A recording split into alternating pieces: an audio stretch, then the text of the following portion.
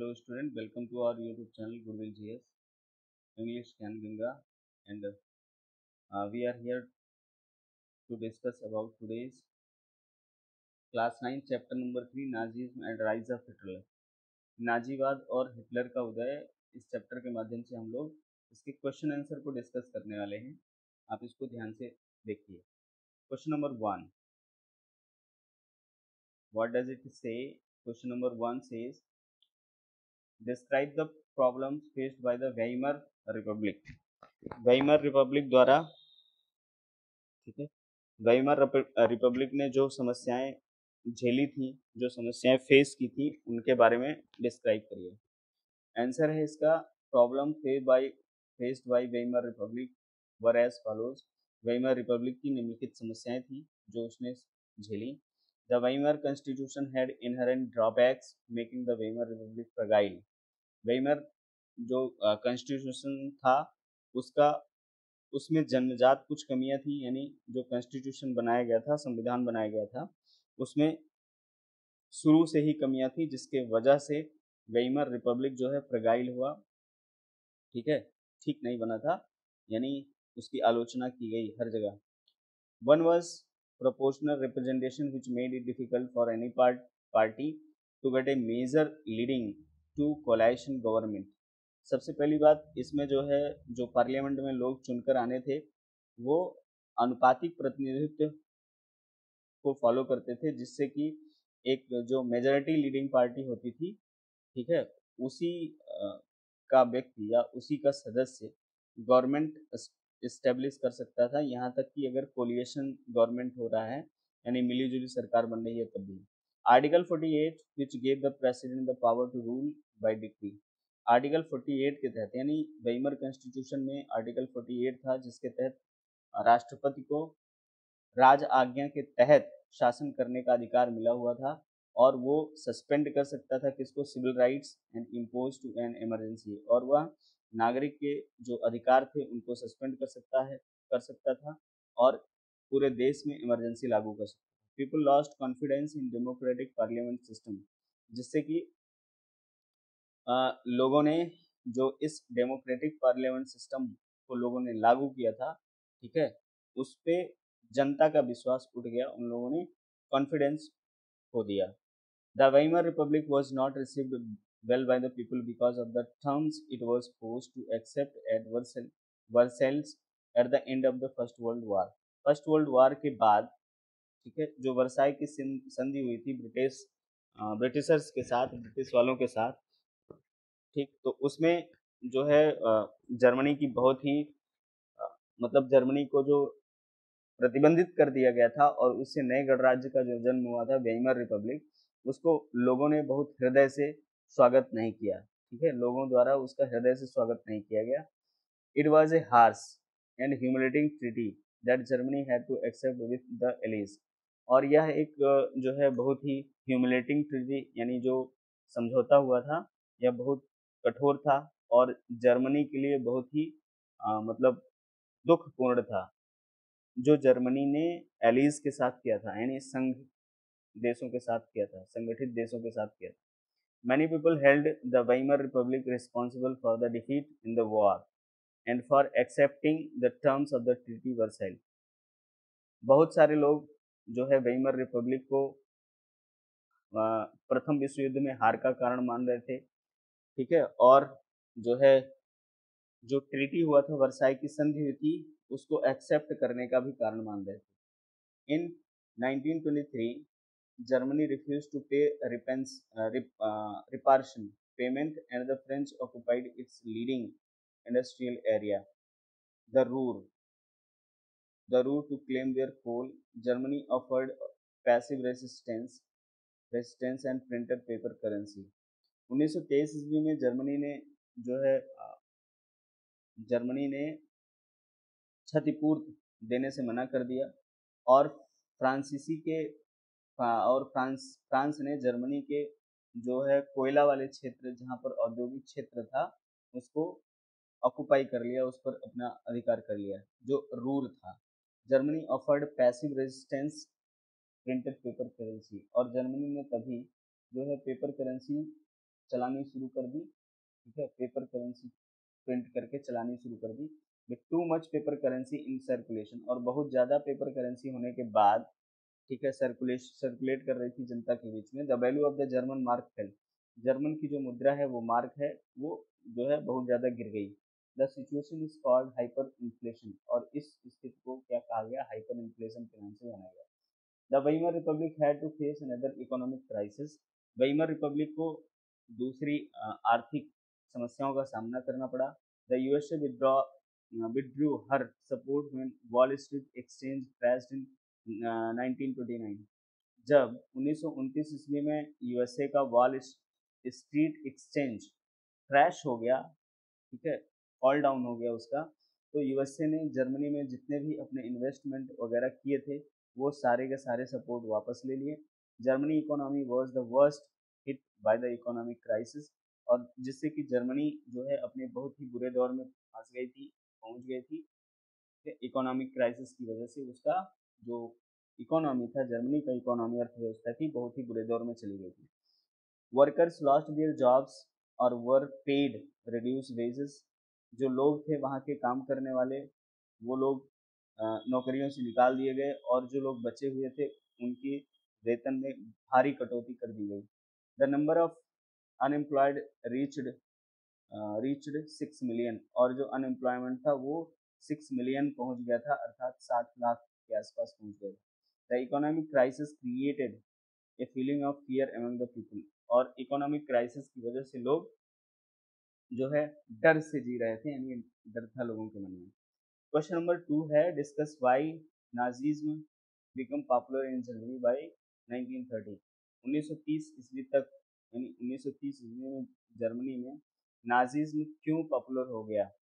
Answer in 1919 adolf hitler took over the german workers party and called in the uh, it the nazi party giving birth to in germany Adolf Hitler ने 1919 ईस्वी में German workers party को join किया और इसका नामकरण कर दिया नाजी पार्टी के नाम से और इस तरह से जर्मनी में नाजीवाद का जन्म हुआ। During the great economic depression Nazism become very popular जब जर्मनी में जो है महान आर्थिक संकट आया हुआ था तो उस समय जर्मनी में नाजीवाद बहुत ही फला फुला अर्थात पॉपुलर हो गया।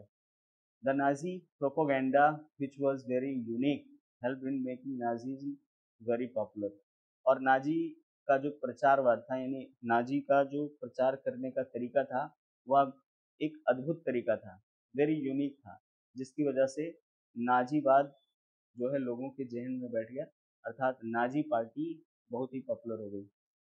In his powerful speeches Hitler promise to build a strong nation अपने मज़बूत इरादों को व्यक्त करते हुए, जब भी वो मीटिंग वगैरह करता या रैली निकालता, जुलूस निकालता हिटलर तो बहुत ही व्यवस्थित तरीके से सुनियोजित तरीके से वह स्पीच देता था, प्रभावशाली पूर्ण स्पीच देता था, भाषण देता था कि वह एक शक्तिशाली राष्ट्र का निर्माण करेगा। Restore the dignity of the German and provide employment for all और वह जो जर्मन हैं, उनकी डिग्निटी यानी उनके सम्मान को रिस्टोर करेगा, वापस लाएगा और पूरे देश में एम्प्लॉयमेंट को ठीक है बढ़ावा देगा, अर्थात नौकरियाँ देगा। Numerous public meeting were held by the Nazi party to instill unity among the people numerous public meeting were held by the Nazi party Nazi party ने पूरे देश में घूम घूम कर लोगों को जो है अपने पब्लिक मीटिंग के द्वारा नाजी आइडियोलॉजी को समझाया और नाजी को पॉपुलर किया। The red banners the Nazi salute and the rounds of applause attracted the people and Nazis become very popular. Lal banner बनवाए गए। नाजी सल्यूट, यानी नाजी सल्यूट खोजा गया और जो है बहुत सारे ऐसे अट्रैक्टेड अप्लॉज किए गए जिससे कि लोग नाजी पार्टी से जुड़े और धीरे धीरे नाजी पार्टी पॉपुलर होती चली गई। The meetings projected Hitler as a saviour of Germany. ठीक है? जब भी मीटिंग होती थी तो जर्मनी में जब भी मीटिंग होती थी जर, जर्मनी के उद्धारक के रूप में हिटलर को प्रोजेक्ट किया जाता था। यानी बताया जाता था कि हिटलर ही जर्मनी का उद्धार करने वाला है। The German people who were after the First World War believed him. और जो जर्मन पीपल ठीक है प्रथम विश्व युद्ध के बाद इधर उधर भटके थे इधर उधर जो है शरणार्थी के रूप में रह रहे थे सेटर हो गए थे वह सब जर्म हिटलर के ऊपर विश्वास करने लगे।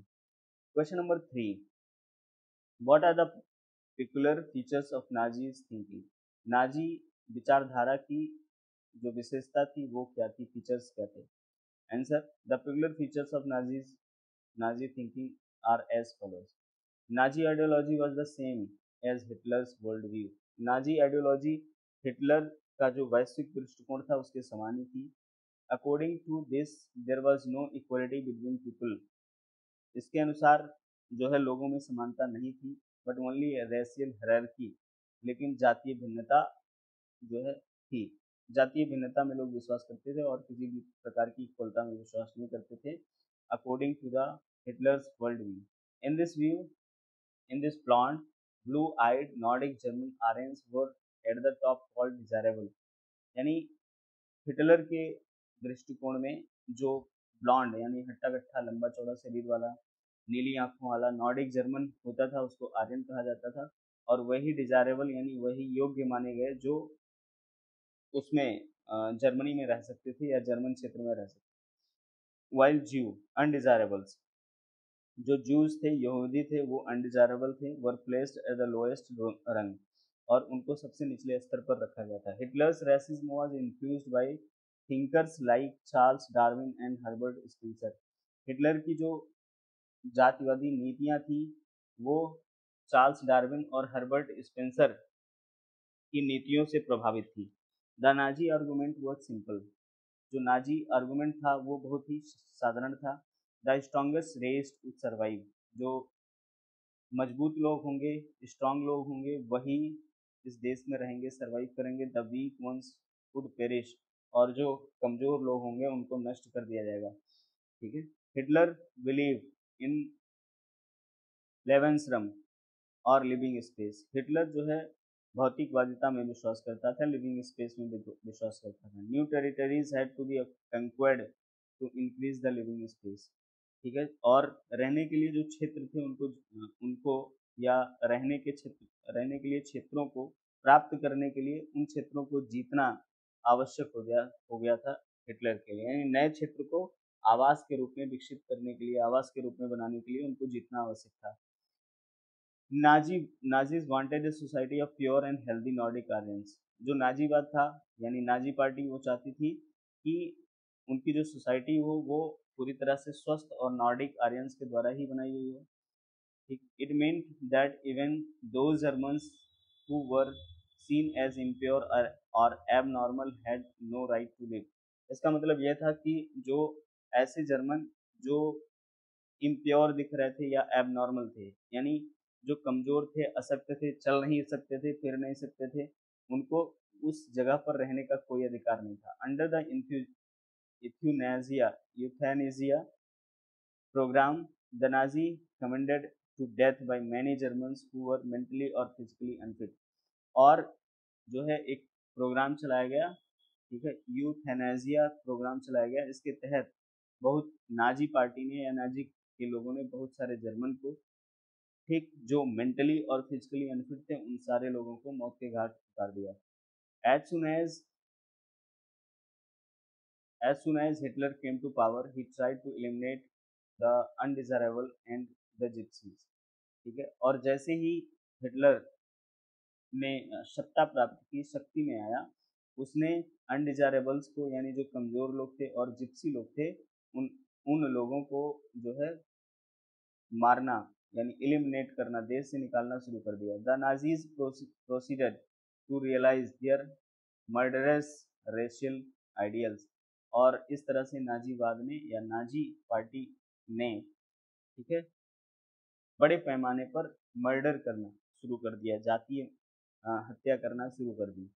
ठीक Jews remained the worst sufferers in Nazi Germany जो जूस थे यहूदी थे, ठीक है नाजी जर्मनी में उनकी स्थिति बहुत ही अधिक दयनीय थी।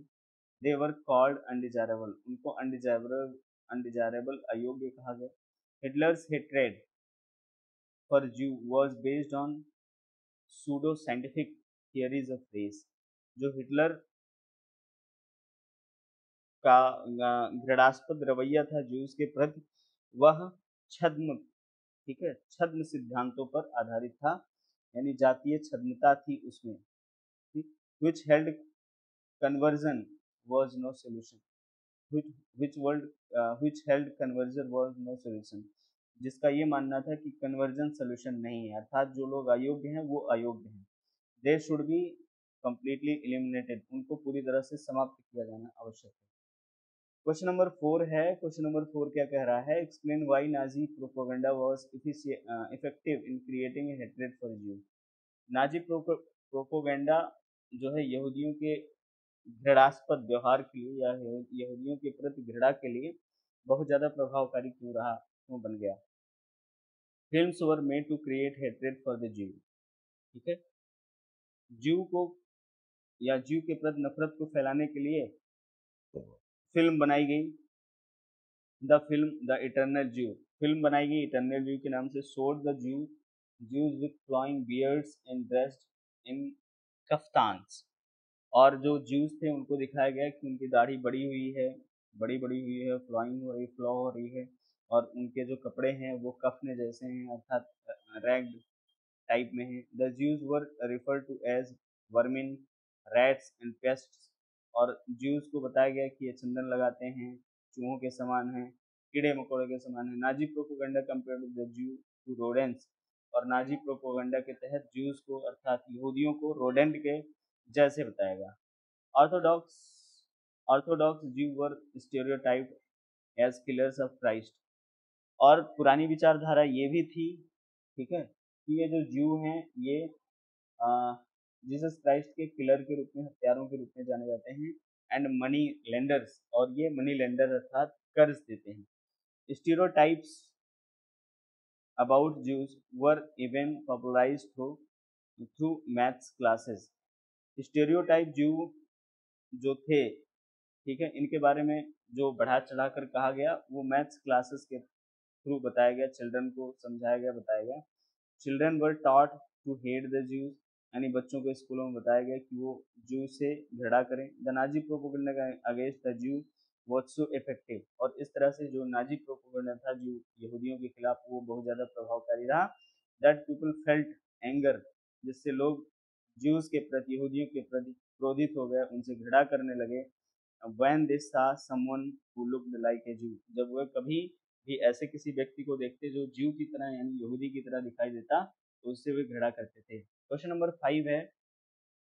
Question number five explain what role women had in Nazi society Nazi society में महिलाओं का क्या योगदान रहा, उसको बताना है। Return to chapter one on the French revolution यानी फ्रेंच रेवोल्यूशन से जो है, ये किस तरह से प्रेरित रहा? Write a paragraph comparing and contrasting contrasting role of the women in two periods ठीक है? दोनों समय में जो महिलाओं का योगदान रहा, जो विरोधाभास रहा, उसके बारे में तुलना कीजिए। Nazi. The Nazi Germany boys were told to be aggressive and steel hearted.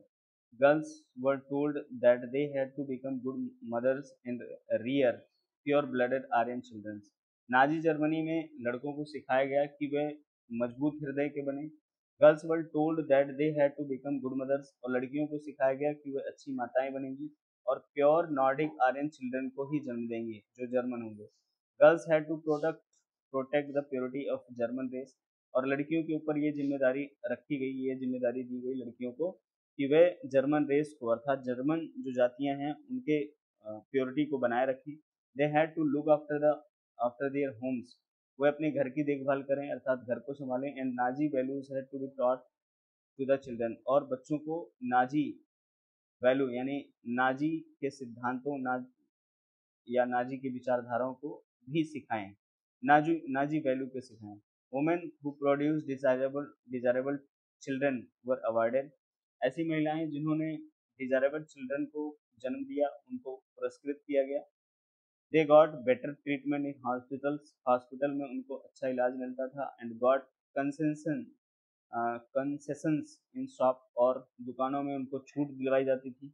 On theatre on theatre tickets and railway fares यानी जो है टिकट और रेलवे फेयर जो होते थे वो फ्री होते थे। Honour classes were awarded to women और जो ऑनर मतलब जो महिलाएँ ऐसी होती थी जो डिजायरेबल चिल्ड्रन को जन्म देती थी, उनको जो क्रॉस मिलता था वो ऑनर क्रॉस मिलता था। ठीक है? ईसाई वाला जो क्रॉस होता है, वो मिलता था। A bronze cross was awarded to women for four children अगर किसी महिला ने चार बच्चों को जन्म दिया है तो उसको ब्रॉन्ज क्रॉस मिलता था। Silver for six children silver cross for six children छह बच्चों के जन्म पर silver and gold for eight or more children और जो गोल्ड या गोल्ड होता था, वो आठ या आठ से अधिक बच्चों के जन्म पर दिया जाता था। क्वेश्चन नंबर सिक्स है। Question number six in what ways did the Nazi state seek to establish total control over its people Nazi राज्य में किस तरह से, ठीक है in what ways did the Nazi state किस तरह से लोगों पर नाजी ने लोगों पर कंट्रोल करना शुरू किया? इसके बारे में बताइए। The Nazi state try to establish total control over its people Nazi state ने पूरी तरह से अपने लोगों के ऊपर नियंत्रण नियंत्रण स्थापित करना शुरू किया। Special forces were created to control the society society पर कंट्रोल रखने के लिए जो है विशेष प्रकार के फोर्स बनाए गए। और वो फोर्स कौन कौन से थे? In the way Nazi wanted यानी जैसे कि नाजी चाहते थे। अपार्ट फ्रॉम एस ए और the storm troopers storm troopers नामक एक फौज बनाई गई, जिसको एस कहा गया। And regular police who were green uniform these included the Gestapo और रेगुलर पुलिस होती थी जो ग्रीन यूनिफॉर्म पहनती थी। इनमें जो है गेस्ट एपो यानी सेक्रेट स्टेट पुलिस को भी शामिल किया गया। And S S the protection squads S S जो होता था वो प्रोटेक्शन स्क्वाड्स होते थे। Criminal police and the security services S D के नाम से जाने जाते थे। यानी तीन प्रकार के ये लोग जो है सेनाओं का निर्माण किए थे special forces S A S D और S S they were given extra constitutional power इनको जो है, संविधान से बाहर शक्तियाँ प्रदान की गई थी। एक्स्ट्रा कॉन्स्टिट्यूशन पावर दिया गया था। That gave the Nazi state its reputation as the most डेडेड criminal state जिसकी वजह से जो नाडी नाजी स्टेट था वह जो है मतलब भयानक ड्रेडेड ड्रेडेड ठीक है? बहुत ही आ, कह सकते हैं कि भयानक ड्रेडफुल क्रिमिनल स्टेट के रूप में इसका रिपुटेशन बन गया। यानी बहुत ही भयानक ठीक है? स्टेट के रूप में जाना गया ये। People were tortured in Gestapo chambers जो गेस्टेपो चैम्बर्स होते थे ठीक है? उनमें गेस्टेपो का मतलब क्या हो गया? जो सेक्रेट स्टेट पुलिस होती थी उसमें लोगों को ले जाया जाता बहुत ही टॉर्चर किया जाता मारा मारा पीटा जाता था and send to concentration camps और उनको जो है कंसेंट्रेशन कैंप में भेज दिया जाता है कंसेंट्रेशन कैंप क्या होता है? तो कंसेंट्रेशन कैंप ऐसा स्थान होता है जहाँ पर सरकार जो है सरकार आ, ऐसे लोगों को रखती है जो दूसरे देशों से आए हुए लोग होते हैं या फिर ठीक है? या फिर आ, क्या बोलते हैं? अपने देश के ही लोग होते हैं जो विद्रोही स्वभाव के होते हैं तो इसको बोलते हैं नजरबंदी केंद्र। नजरबंदी केंद्र। People were arrested without any legal procedure और लोगों को बिना किसी कानूनी प्रोसीजर के ठीक है अरेस्ट कर लिया जाता था। तो these all these are all these are all about your question and answer you ninth class students if you like the lesson please share make a comment on this video and try to understand what I'm teaching you in this video. So this is all for you. Have a nice day. Good night. Bye bye.